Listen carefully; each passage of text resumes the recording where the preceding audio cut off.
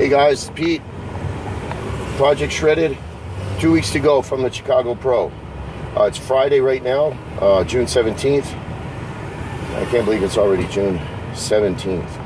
Anyway, winding up, winding down. Body weight today is 211.0. I think it's right where Coach Don wanted me, so I'm super excited about that. We had a ball busting week. Carbs dropped uh, from about 110 down to 39 grams of carbs per day. Uh, artificial sweeteners have gone as of yesterday. Uh, sodium dropped. Um, I like my salt. We had talked about that before, so um, pulling that out was a little bit painful for me. But you know what? It's all right. It is what we. It is what it is, and it's what we do.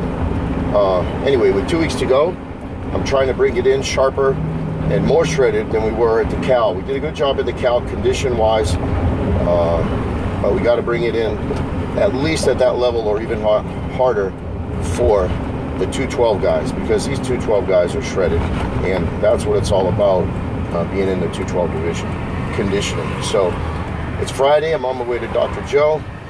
Say a prayer for my plantar fasciitis. It's uh, kicked in a little bit, but you know, it'll be all right.